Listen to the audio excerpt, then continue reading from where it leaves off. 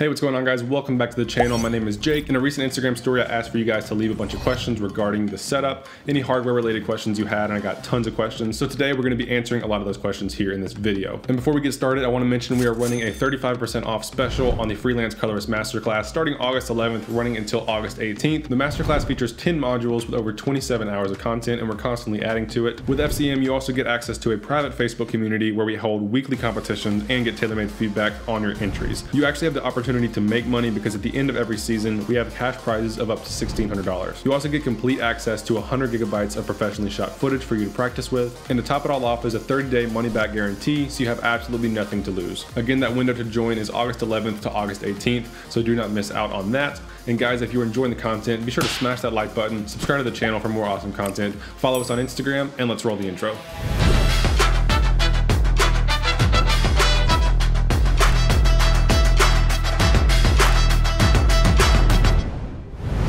We're trying a 24 millimeter lens today. Usually I'm shooting on the 35, but this is 24, this is wider. This is like a 12 year old lens that I haven't used in forever, but today's a more casual video, less, well, it is less scripted. I mean, this is just kind of off the cuff, but what I'm gonna be doing today, I've got a Instagram story that I posted yesterday. In that Instagram story, I asked you guys what questions you had about my studio setup um, or studio setups in general for color grading, mostly specific to color grading, um, but also just video editing in general. So today we're answering that. We're gonna be covering a lot of different topics and I'm just gonna be scrolling through all the answers from the Instagram story that I posted, um, or all the questions rather, and we'll be answering them one by one. And then if I think it needs an additional, you know, shot or B-roll to explain or put some visual imagery on top of what I'm saying, we're gonna do that. But this is gonna be like a laid back kind of like, almost like a live Q&A, but it's not live. I'm alone. So I'm just gonna go down to the bottom. First question, uh, is that the Karlby 74 or 98 IKEA desk? It is neither, it's a kitchen countertop because they told me they discontinued the Karlby.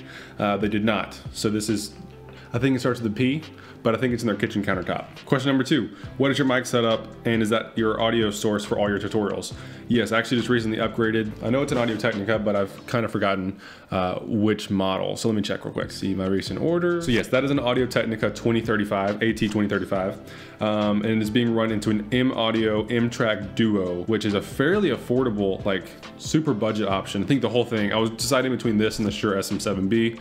I went with this one and it's also great for like client remote sessions um, because it's just a huge step above your basic computer microphone. And of course the audio interface makes it super easy, one, to monitor anything, so you don't have to have, worry about any reverb or uh, feedback, sorry. And of course you can control the dials like right then and there. It's super easy just to make adjustments to your levels so you're not blowing out anybody's speakers. You know, I'm just, I'm sorry for poor framing today. We're just, we're making it work. This was probably the most asked question.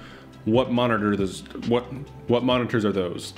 What are those? The monitors are the Flanders or FSI DM240, which is a 1080p SDR monitor, not HDR. But the thing about you know going with a brand like FSI, they are specifically built for onset uh, and post-production color grading. So they're calibrating these monitors with $30,000 spectrometers, and then you can also send it back to them once a year. I think you just have to cover the UPS shipping or FedEx, whichever one they use. Um, they take it back, they calibrate it, and then they send it back to you. So it's a pretty excellent um, value. This one, I believe, runs at around $4,000. They should be adding on to their lineup pretty soon, especially in this just smaller 24-inch SDR world.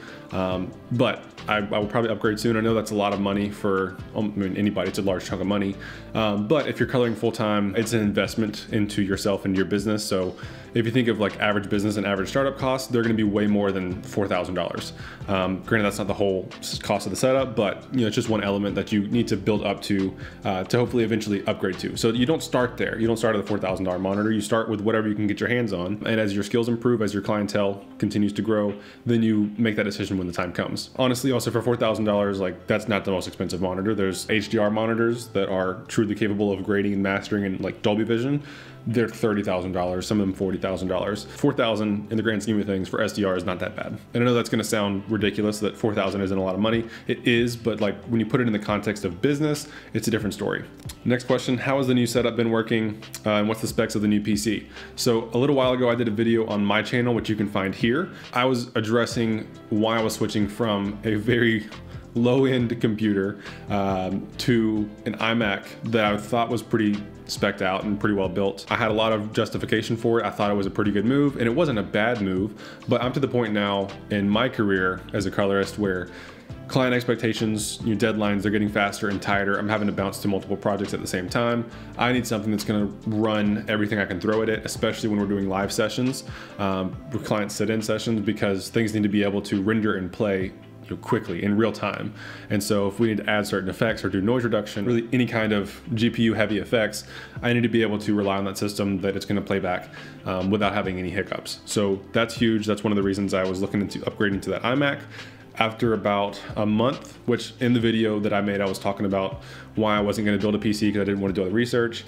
And I think right after that video, I decided like how much research could it really be? So I looked it up and ended up, of course, building out my own PC, which is there and it's the colors, the lights are on right now. It's got some RGB in it just because they were the best parts I could find that know, all fit my budget. Um, you can certainly do a non-RGB build and you can turn the lights off whenever you're grading. So they're not always on, but uh, it does kind of look cool in the background, I won't lie. So because there's so many questions in here about you know, PC specs and Mac versus PC, I'll go ahead and address both of those in one. First, I'm gonna address the specs on this PC. It's not in its finished form. I was planning on getting a 3090, but I built it, you know, like in March, April, which was just the height of the shortage in, in GPUs and uh, CPUs. It does not have the 3090 in it because I could not find one for less than $4,000. It has a 3080. It's an RTX 3080, the gigabyte version, uh, which is overclocked from factory.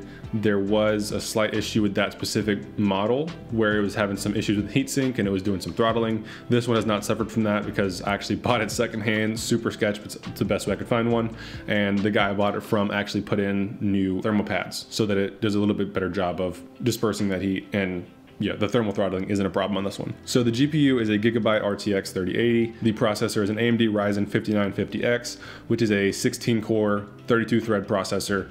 And this one in particular I believe I got it for like a thousand dollars at the time. They should have been closer to like 800. And I do have it overclocked to about 4.2 gigahertz, but it will turbo turbo to 5 gigahertz. For the RAM, I'm running 128 gigs of, I believe, 3200 megahertz. Uh, they ran out of 3600 and I could not find this package or this deal anywhere else. So I got a good deal on it. But 128 gigs of CL16 or 18, I honestly forgot.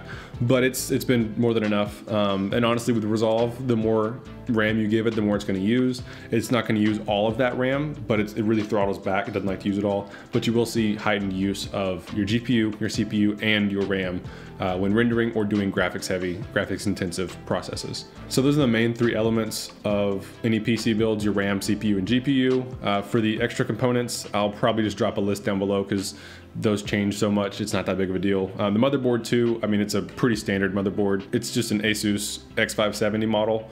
Um, I don't remember the specific model, but you know, X570 is kind of the way to go. You have enough PCIe slots to cram in everything you need because I've also got the Blackmagic DeckLink card, which is a must-have, especially when running SDI into a calibrated monitor.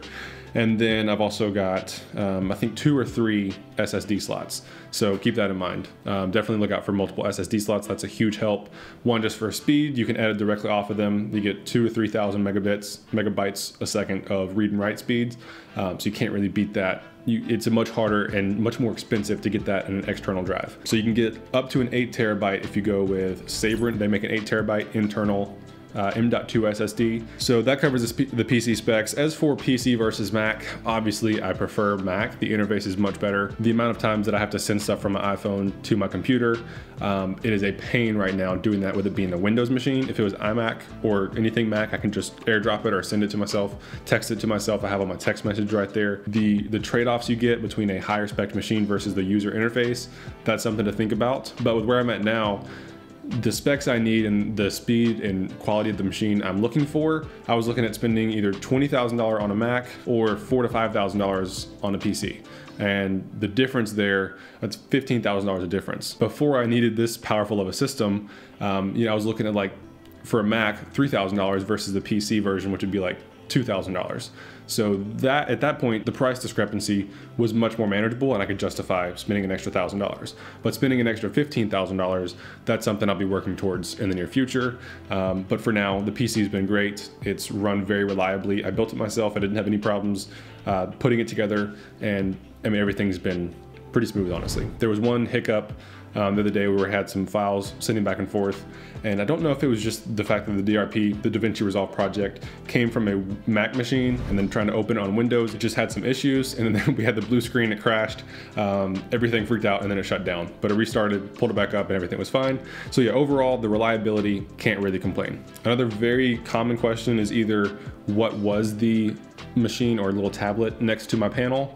Um, and if you know what that is, it's the Stream Deck XL.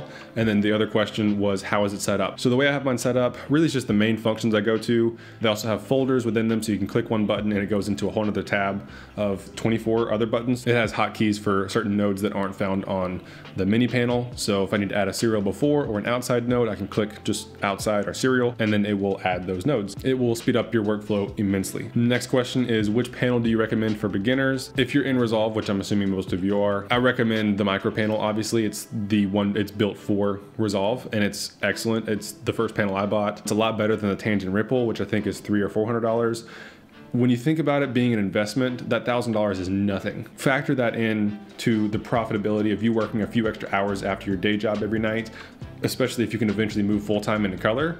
Um, that thousand dollars pays for itself real quick. Um, same thing with the master class. That investment, that thousand dollar investment, I buy classes all the time. I just bought a new course today because I'm still learning and I want to learn as much as I can.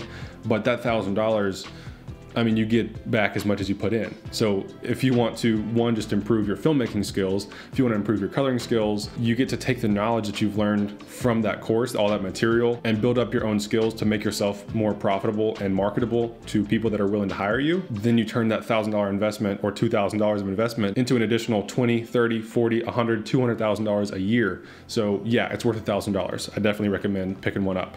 Next question is, do you connect from desktop Thunderbolt 3 to IO box and then HDMI to monitor? I used to whenever I was on Mac and I was using the LG C8 as my reference monitor. I used the Blackmagic, actually I have it right here, one sec. Yeah, this thing right here. There's like no material on YouTube on this thing. So this is it. This is the Blackmagic Ultra Studio Monitor 3G.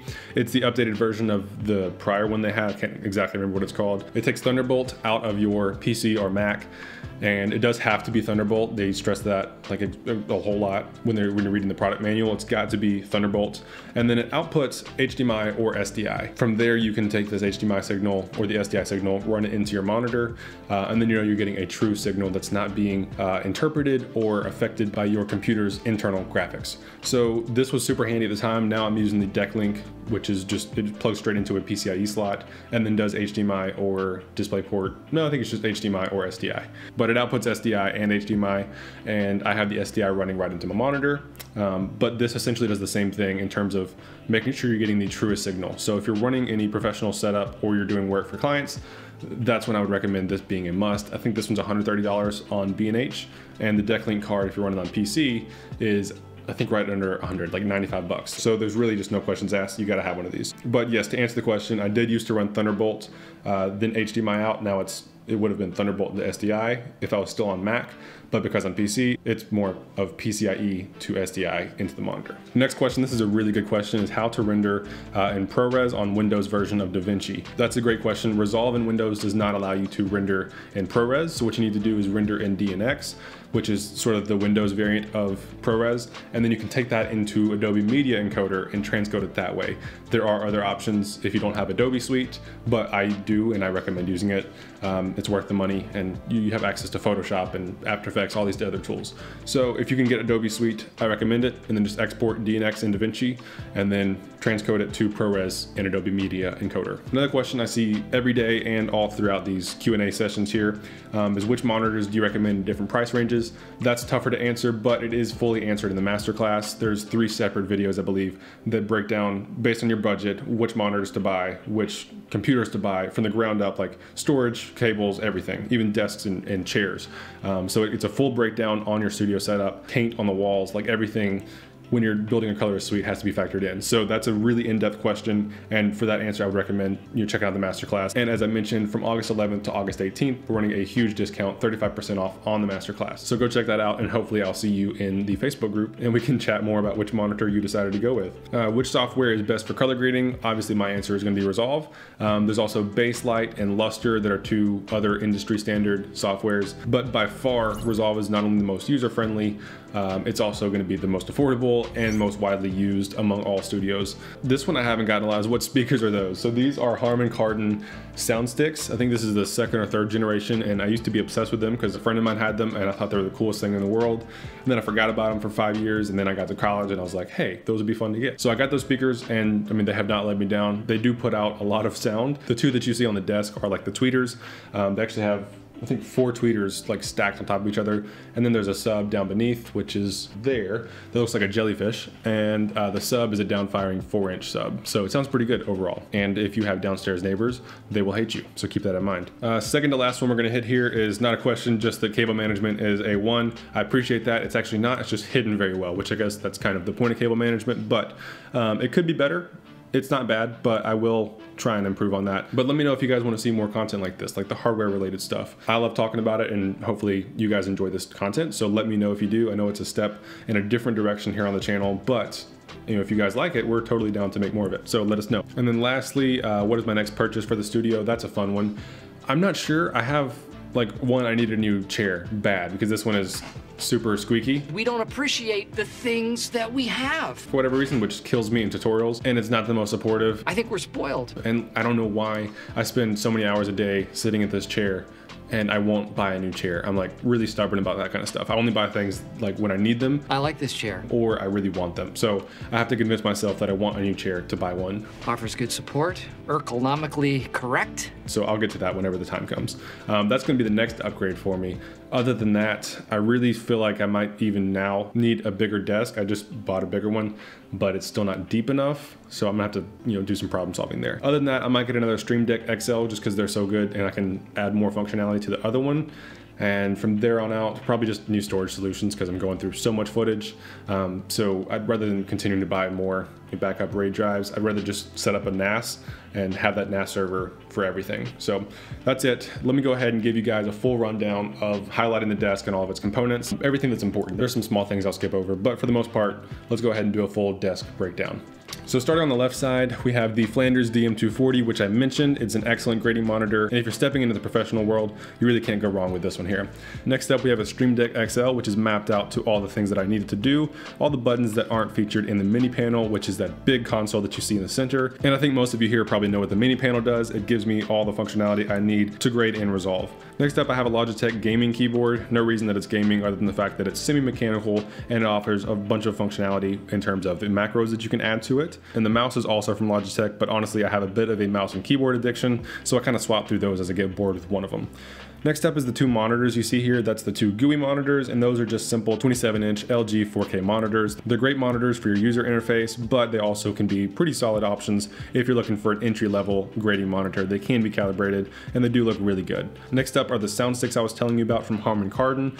Beautiful sound quality, and I'm a big fan. I've been using them for about two and a half years, maybe three years now, and they are just phenomenal. Then we have the PC, as I mentioned, it's spec'd out with a 5950X from AMD, 128 gigs of Trident Z Neo memory, and then an RTX 3080. If you'd like to hear more about the PC build, please let me know in the comments below and I'll do a little bit more in-depth breakdown of all the components here. And then I also have a floating arm for the mic that I use when I'm recording tutorials. That again is the Audio Technica AT2035, and that is running into an M Audio Duo. So that's it for this one. I hope you guys enjoyed this little detour. Don't forget we also have a special on the Freelance Colorist Masterclass. From August 11th to August 18th, you can join for 35% off. Huge discount, so don't miss out there. Now you guys know the drill. If you're enjoying the content, be sure to smash that like button, subscribe to the channel for more awesome content, and I will see you in the next one.